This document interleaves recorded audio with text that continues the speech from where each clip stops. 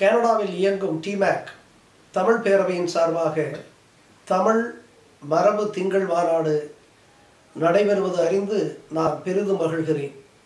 இந்த மாநாடு சிறக்க நான் உளமாற என்னுடைய வாழ்த்துதலை தெரிவித்துக் கொள்ளுகிறேன்.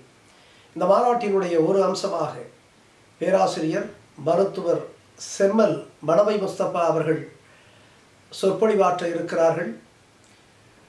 அவர் குறிப்பாக திருக்குறளில் மருத்துவ சிந்தனைகள் என்கின்ற பொருளிலே அவர் சிறப்பு சொற்பொழிவு ஆற்றுவது அறிந்தும் நான் பெரிதும் மகிழ்கிறேன். அது சிறக்கவும் என்னுடைய வாழ்த்துதலை தெரிவித்துக் கொள்கிறேன் அடிப்படையில் நம்முடைய தமிழ் உறவுகள் பூமி பந்தில் எந்த திக்கில் இருந்தாலும் அவர்கள் உலகத்தினுடைய எந்த நாட்டில் வசித்தாலும் வாழ்ந்தாலும் அவர்கள் வாழ்வு சிறக்க இந்த மண்ணில் உதித்த முத்துக்கள் பூமி பந்தில் எந்த திசையிலும் அவர்கள் ஒளிர வேண்டும் சிறப்பாக ஒளிர வெளிர வேண்டும் என்று என்னுடைய வாழ்த்துதலை தெரிவித்துக் கொள்கிறேன். அது மட்டுமல்ல இந்த மண்ணிலிருந்து புறப்பட்டு சென்ற எம் மக்கள் அவர்கள் இந்த மண்ணினுடைய மரபையும் உறவையும் ஊரையும் வேரையும் இந்த மண்ணின் மகத்தான அடையாளமாக திகழுகின்ற அந்த தமிழ் மொழியையும் ஒரு காலம் மறந்திடலாகாது என்று நான் சொல்லிக்கொள்ள ஆசைப்படுகிறேன். அடிப்படையில்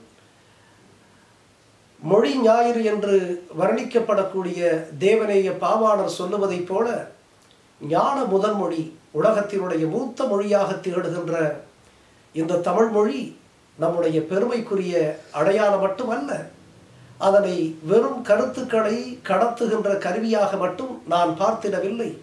மாறாக தமிழ் மொழி என்பது அது அறத்தை மானுடத்திற்கு போதிக்கக்கூடிய அறச்சாடை ஒரு பண்பாட்டு பெட்டகம்.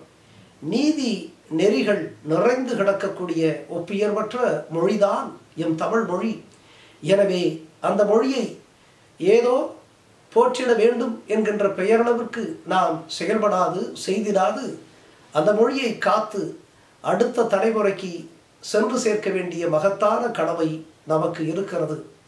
அந்த அடிப்படையில்தான் நாங்கள் கூட மக்கள் பாதை என்கின்ற அந்த அமைப்பின் மூலமாக இரண்டு மாதங்களுக்கு முன்பாக தமிழகமெங்கும் ஏன் உலகமெங்கும் தமிழ் கையெழுத்து இயக்கத்தை மிகச்சிறப்பாக நடத்தினோம். தமிழ் மொழியை காத்திடுவதனுடைய தொடக்கமாக ஒரு தன்மானத்தினுடைய இன்னொரு அம்சமாக தமிழ் மொழியில் நாம் கையெழுத்திடுவோம் என்கின்ற உணர்வுபூர்வமான ஒரு உன்னதமான ஒரு நிகழ்வை நாங்கள் தமிழகத்தினுடைய தலைநகர் சென்னை மட்டுமல்ல தமிழகத்தினுடைய அனைத்து மாவட்டங்களிலும் உலகத்தினுடைய பல்வேறு நாடுகளில் மிகச்சிறப்பாக நடத்தி காட்டினோம்.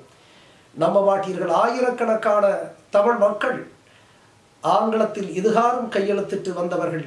அவர்கள் முதன்முறையாக தமிழில் கையெழுத்திட்டு எதிர்காலத்திலும் நாங்கள் தமிழ் மொழியிலே கையெழுத்திடுவோம் என்று உறுதிமொழி எடுத்துக்கொண்டு மிகச்சிறப்பாக அந்த நிகழ்விலே கலந்து கொண்டு அதை ஒரு வெற்றிகரமான நிகழ்வாக மாற்றினார்கள்.